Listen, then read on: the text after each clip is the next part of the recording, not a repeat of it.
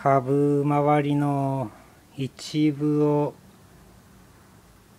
掘って傾斜させようと思ったのですがなかなか傾斜しないので株周り全体の土を取っていったんですね。その過程で思い出したんですがまあ斜め上にして取り込むにしても突っかえるのをいずれ突っかえるのをなるべく回避するためにサンルーム内の他のバナナを植える時よりもこれは出戻りですので もともとここにいたのを外に出してまた取り込んだので穴を深めに掘っておいたんですね。それで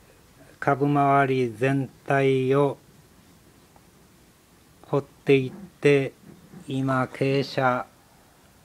まあ今はコンテナに支えられていますがこの辺でそちら側に30度程度倒した時に夏までにどれぐらいの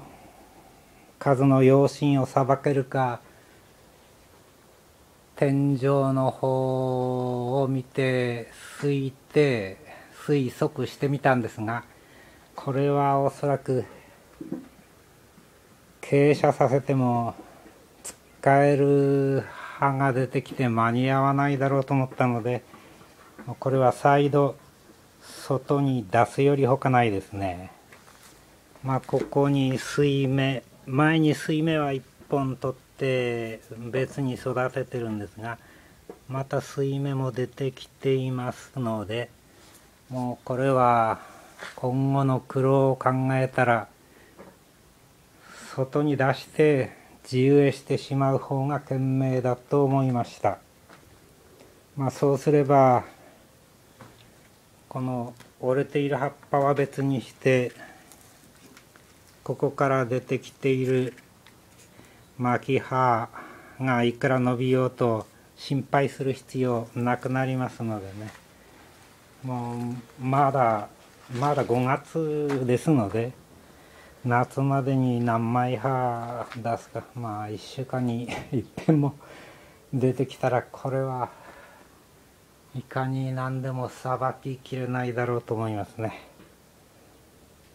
これから畑の方に運んで自由へすることにします。